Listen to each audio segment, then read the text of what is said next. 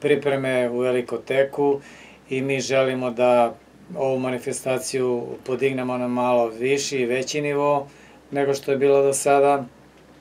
Tu su nam uz, u pomoć su naravno grad Pirot, pokrovitelj manifestacije grad Pirot, turistička organizacija, a u su organizaciji su mesna zajednica Izvor, Izvorsko zrno i naši prijatelji i sponzori koji će pokušati da nam pomognu da ova manifestacija oživi i preživi ova teška vremena u kojima se ona sada nalazi. Imajući u vidu da je sve manje vinograda, da je sve manje zainteresovanih ljudi, da je sve manje meštana u selu i u selima uopšte u Srbiji, zemlji Srbiji, mi sada pokušavamo da je održimo i sačuvamo tradiciju dobrih vina i vinogradara koje je selo Izvor sa okolinom imalo u proteklom periodu. E, sada govorite, dakle, o situaciji u vašem selu, eto, spomenuli ste Srbiju. Ko sve može da učestvuje na manifestaciji? Na manifestacije mogu da učestvuju i učestvovali su svi zainteresovani vinogradari i voćari, znači podrazumevamo vino i rakiju. Mi smo u proteklim godinama imali od 20 do 25 izlagača.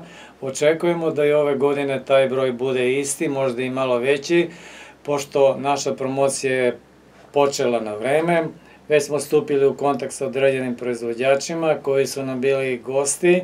Imamo i neke e, ohrabrujuće vesti od onih koji su nekada bili tu sa nama. Naprimer, jedan proizvođač rakije ove godine biće samo posmatrač, pošto je svu svoju količinu robe koju je imao, e, rakija od Dunje već prodao.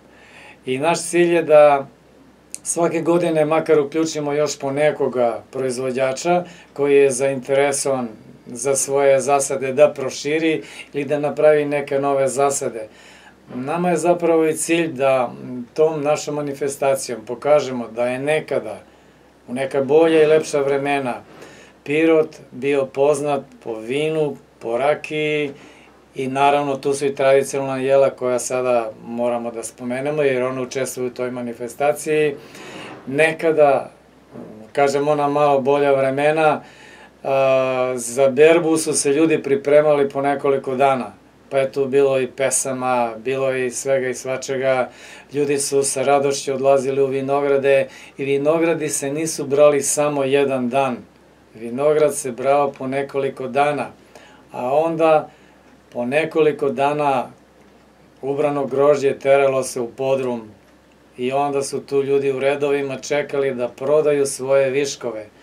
Danas, nažalost, tih viškova nema imamo malo vino, vinograda, malo vinogradara i malo voćara. To su oni entuzijasti koji su ostali i koji danas čuvaju i pokušavaju da sačuvaju tradiciju dobrog vina i dobrog grožđa i dobrog voća koje se rađa u Pirotu i okolini. Da li je manifestacija i takmičarskog karaktera?